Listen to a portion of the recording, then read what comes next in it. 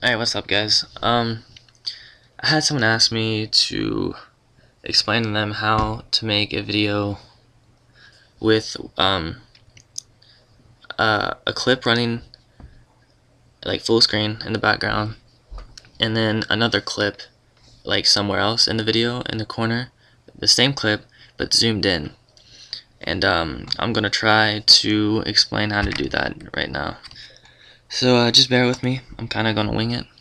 Oh yeah, I upgraded to Pro 10, by the way, so yeah. You want to go and open up whichever clip you want to do. I'm just going to go with Transworld Hallelujah. I'm just going to use a small portion of this and just go with it. Alright. Alright, so what you're going to do is you're going to have to make another copy of this. So you're going to right click, copy, and in Vegas Pro 9 you just have to right click and um, paste but in 10 you have to insert audio and video track. So you do that and then we'll right click paste and there's your second your second clip your, your duplicate. What you want to do is uh well let me change my properties real quick. Let's go and make it widescreen. Apply. Now you're gonna oh what the heck there we go. I'm just, I'm just taking out the black lines.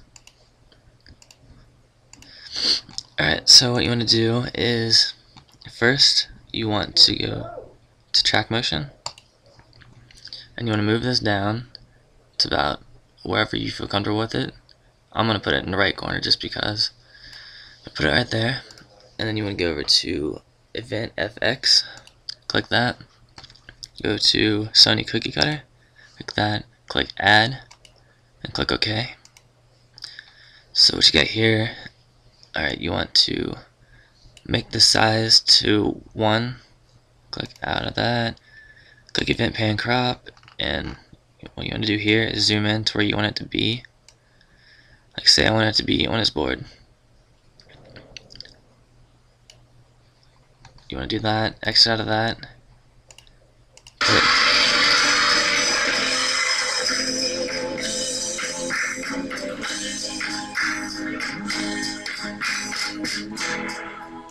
and that's what it should look like. Um you can like let's go. Let's go right here and let's let's zoom in on his face. And what you want to do is just move this around to oh where are you? Where are you? There's his face. If you want to zoom in more than that you zoom in.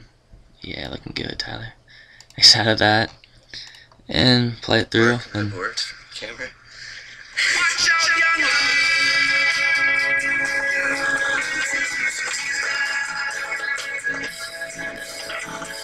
Alright, um, that's basically how you do it.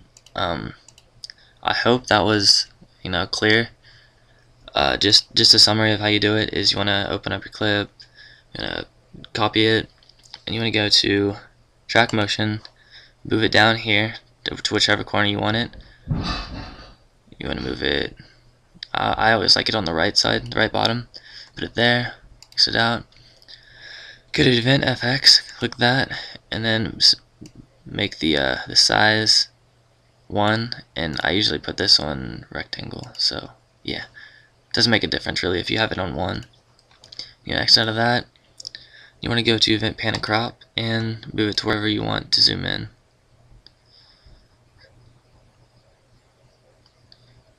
And that's that's basically it.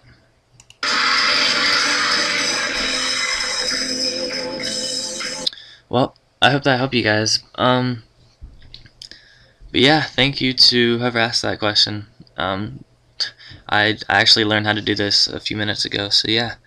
Um, hope that helped. And if it did, uh, comment, rate it, subscribe. And um, if you have any more questions, just ask. Alright, later.